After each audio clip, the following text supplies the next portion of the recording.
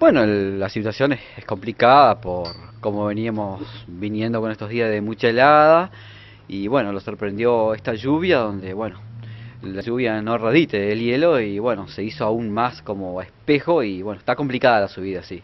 Está muy Bueno, para bajar a pie era complicado, para los vehículos todavía más. Para bajar a pie está complicado todavía y aún más para los vehículos, para todo tipo de vehículos, ¿no? Está muy muy complicado, así que les recomiendo este no no no bajar, o sea, no bajar en auto ni subir en auto.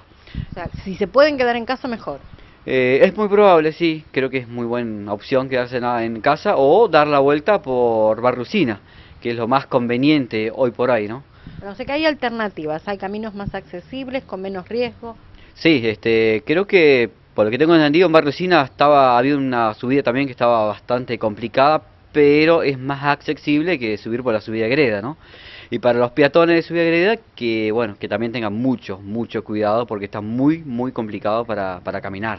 ¿Te tocó auxiliar a alguien esta mañana? Eh, una camioneta que estaba atravesada y un auto también que lo enderezamos y bueno, pero bueno, está muy, muy complicado. Recomiendo no bajar en auto.